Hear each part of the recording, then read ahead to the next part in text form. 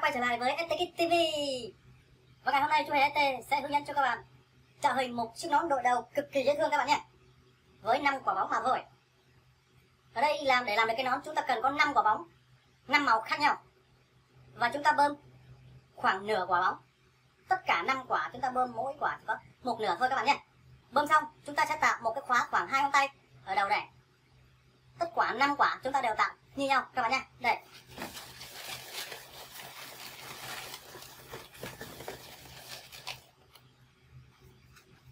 chúng ta sẽ tạo một đoạn khoảng tầm 7 ngón tay. Ở đây, ngắn hay dài là tùy thuộc vào cái kích thước đầu của ai đội, cái nón đó, các bạn nhé. Ở đây, kích thước trung bình dành cho người lớn là khoảng 7 ngón tay. Bước đầu tiên này sẽ giống như bước đầu tiên khi chúng ta làm một chiếc bánh kem. Chúng ta tạo một đoạn 7 ngón tay ta? Không có đây chúng ta cũng tạo một đoạn bảy ngón tay tiếp theo.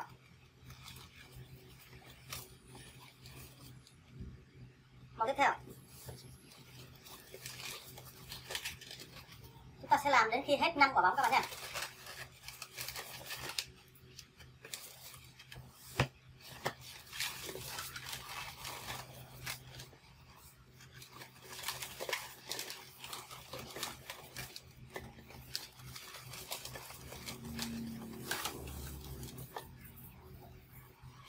Ok. Tiếp theo, với năm quả bóng như thế này, chúng ta sẽ đo mỗi quả khoảng một găng tay. Cộng thêm bốn ngón tay các bạn nhé một găng tay và bốn ngón tay ở đây và bốn quả còn lại tương tự còn chung là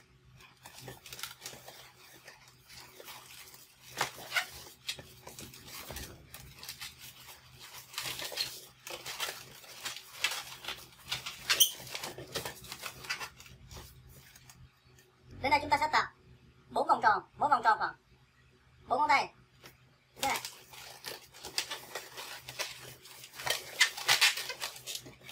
các bạn nhé tương tự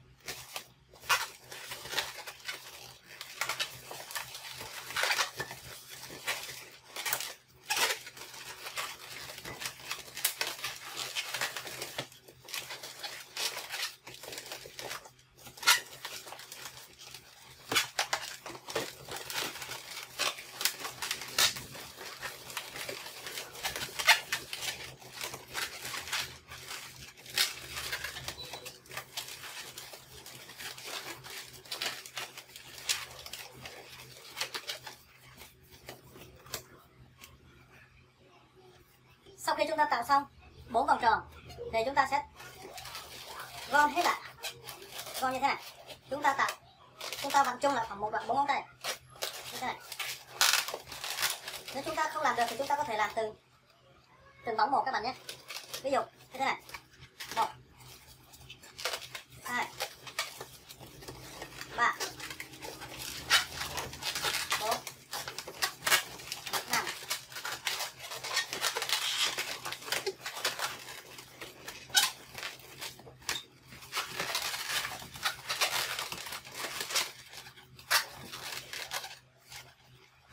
đến đây chúng ta xem quả bóng nào dài nhất? Chúng ta sẽ làm một cái khóa hai ngón tay ở đây. Ví dụ, quả bóng bàn này. Chúng ta sẽ làm hai khóa này. Một cái khóa này ok. Phần cuối cùng, đó là chúng ta chuyển hơi từ đây lên trên.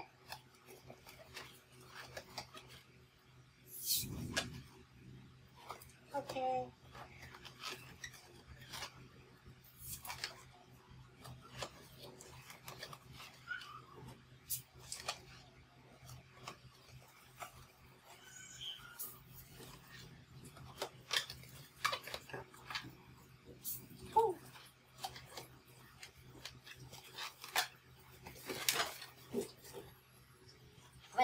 Chiếc nón của chúng ta đã hoàn thành.